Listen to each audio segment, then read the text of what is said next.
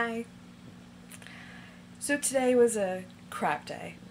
Um, I don't even know where to begin. Uh, I met with this doctor who is not a dietitian, but he does the dietary stuff for the surgery, and I was just floored. I've had good experiences so far. I've only done a couple of tests. I mean, I met with this psychiatrist for the psych eval part one, and he was so nice. He was really nice.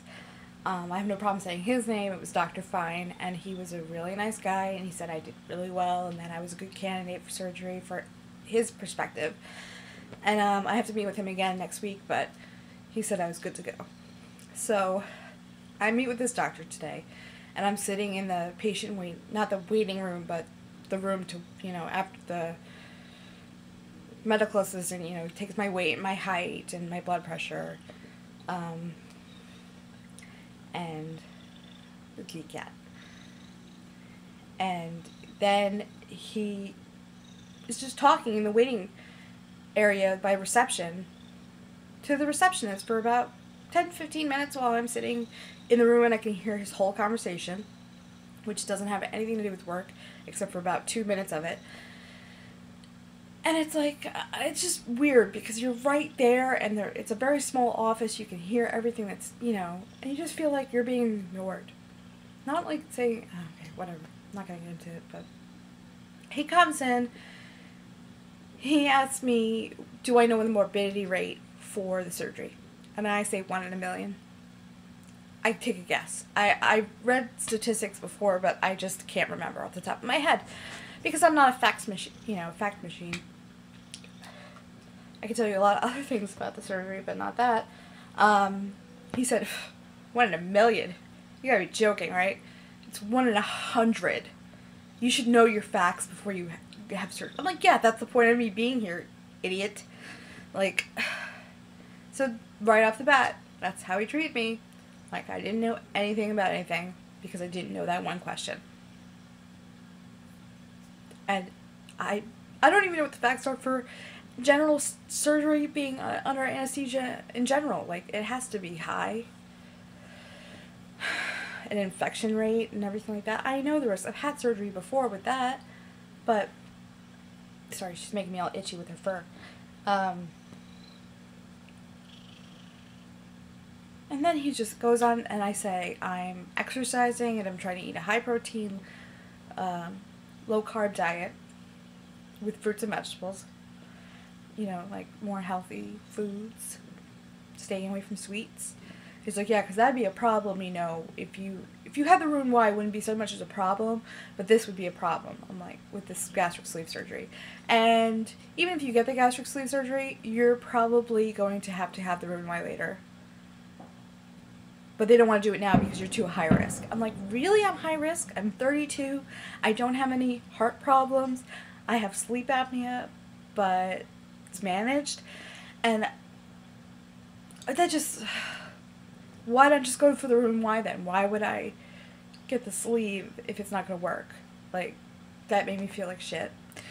And then he said, "Oh, well, I said I'm exercising," and he's like, well, "You shouldn't be exercising." I'm like, "What do you mean I shouldn't be exercising? I need to exercise to lose the weight." And he's like, no, because you're going to hurt yourself because you're too heavy. What? Like, aren't you supposed to say the opposite thing? Like, I need to be exercising, and this is what you're supposed to do? No, you're supposed to be eating 1,200 calories, and that's it. And, yeah, I'm eating 1,400 now, so I don't know how much I can cut out. And, um, you know, I feel better when I work out. I feel like I'm going to be toner and that after the surgery I'll have a bit of most muscle tone so my skin won't be as saggy and I do a lot of strength training, not just stuff. And after I told him that, he was like, oh, okay. Um, but he just talked over me. He blotted his skin and looked at it, and it looked really oily and sweaty. It was gross. Like, couldn't you do that before you came in to see me? Um, just like inappropriate, not making eye contact, talking down to me and, and telling me all these facts that I already knew about, you know, might have to have plastic surgery afterwards. It might be covered by insurance. I know that. I know that. Uh, I know people have a hard time, and he says people come in here and they say 15 pounds. I can't lose 15 pounds. Well, I'm not saying that. I've lost 12 already, and you want me to lose 30? I'll lose 30. My surgeon said 15 to 20. I'll lose 25 to 30 if that makes you feel better, and if it makes it safer for the surgery. I will do it. He says it makes it easier after you have the surgery to lose weight, but we don't know why. We don't know why. It's a mystery. Like, no, it's not. If you eat a good diet now, you're more likely to eat a good diet after the surgery because you know what to eat. And then he's like, you have to eat 2,000 calories after the surgery.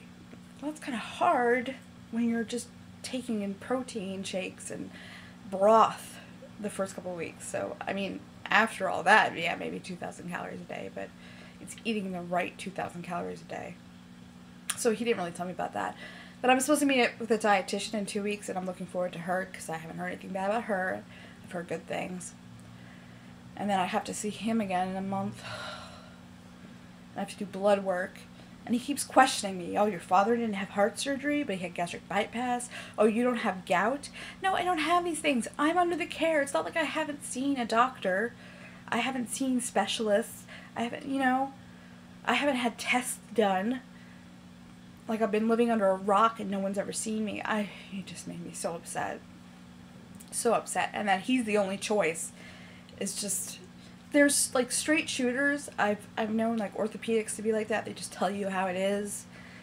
And but usually like they'll ask you questions. He asked me one question, I got it wrong, and that was it for him. That was it. And I really don't want to go back. But I guess I have to. I have no other choice. I can't have the surgery at another hospital, and I don't really want to. I love my surgeon. He's great. But I with my insurance I can't have it at another hospital.